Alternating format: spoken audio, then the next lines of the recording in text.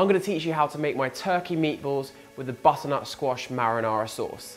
This is the perfect recipe for the Christmas period. So I'm just gonna place the squash, onion, tomatoes, pepper and garlic into the oven for about 45 minutes at 200 degrees C. Whilst the vegetables are cooking, I'm gonna make the meatballs. Okay, so I'm just gonna add the sage, fennel, Italian seasoning, spinach, olive oil, season with salt and pepper, and then mix the whole thing up with your hands. Then I'm gonna make the meatballs. You want them about the same size as a golf ball.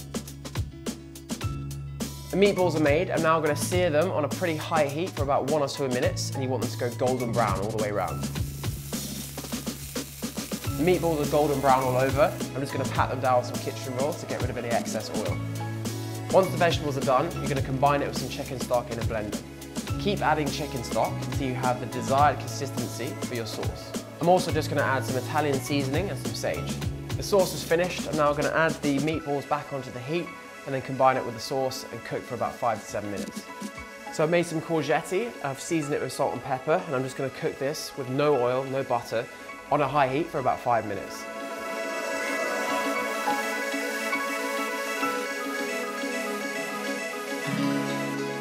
Meatballs are finished, and I'll tell you what, the sauce tastes so good. Let me know what you guys think of this one.